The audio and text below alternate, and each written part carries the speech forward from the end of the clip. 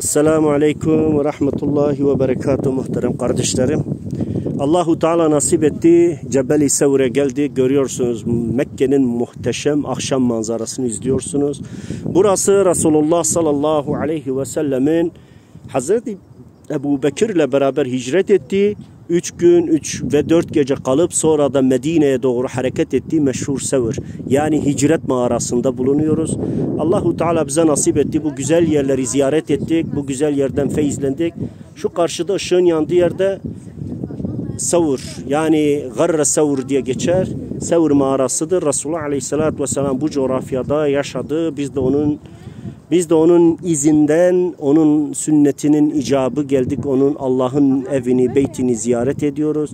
Ve burada cemaat içerisinde kardeşler burayı böyle biz, tica, biz şey olarak tabiri caizse biz e, seyyahi olarak buraya ziyaret ediyoruz. İbadetsel olarak buraya gelmiyoruz. Zaten buranın ibadetsel bir yanı yok.